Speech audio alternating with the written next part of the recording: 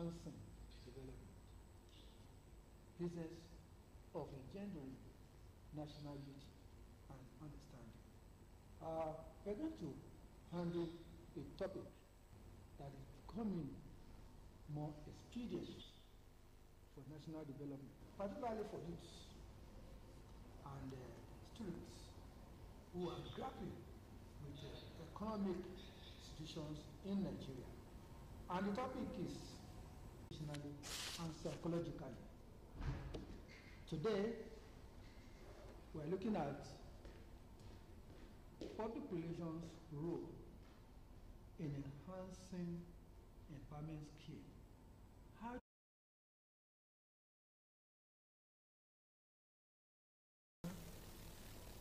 of tremendous support and I always share his presence. Uh, is here today as a participant. So Dara Adebimpe is a PR and communication expert. You're welcome, sir. I'm glad to be here and it's nice to be on the image again. Thank you very much. Uh, this particular issue we are going to discuss is something that of real influence and effect to the growth and development of us. Talking about the small, uh, micro, micro, small, medium enterprises in Nigeria. The empowerment schemes, how do we situate it? What is the essence in the nation? Akinsola? Well, thank you very much. Uh, um, uh, people have this uh, for them to do their needful, the needful, apply their, their, their, to apply their, their trade and all of that. But see, empowerment in that form, I think is exploitative and it is, it is dehumanizing. Because when you, when you begin to give uh, such uh, items like uh, uh, Okada and all of those to people, as a lawmaker, you need, you need some form of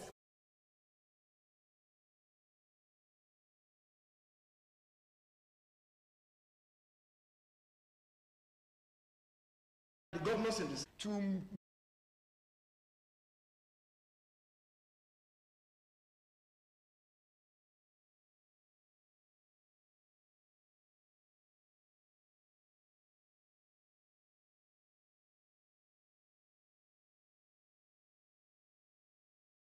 Because when we are talking about empowerment, how does it relate to public relations? And we do know that uh, public relations is something that has to do with image and uh, reputation management. For any organization that works its salt, you know, you should be seen engaging in such activities to encourage or endanger inclusivity where you you are domicile. You, you, you will know that uh, going back to Nigeria,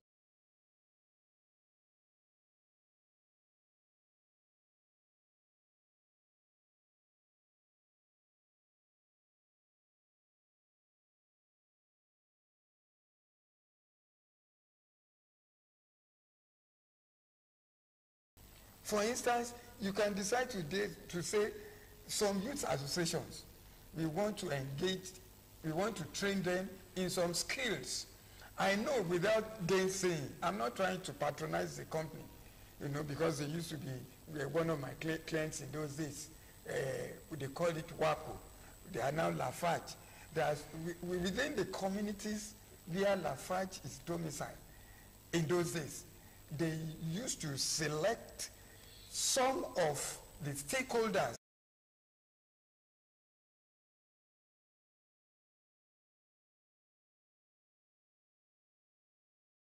is on our hand is because of the economic situation in the country.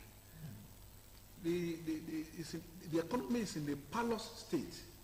And I want to tell you that by the time you cannot even fend for your family, how do you want to help others? That was why I Extended mentioned uh, the issue of uh, economic, I mean, uh, policy So, yeah, that so when you have that uh, uh, economic situation on our hand, is God, I mean, everybody for himself and God for all. And so you, you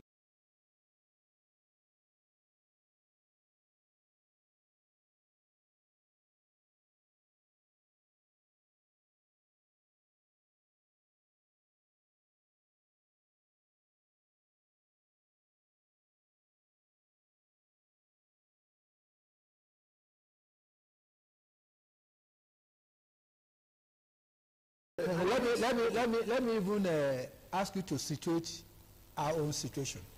This program is earmarked to help in national development, to help the youth to grow, to help economic stability. How do you encourage a program like this to be part of the projection of changing scenario of bettering the loss of the citizen. How do you encourage citizens and corporate institutions to, buy, to have a buy-in into this kind of program? Yes, exactly.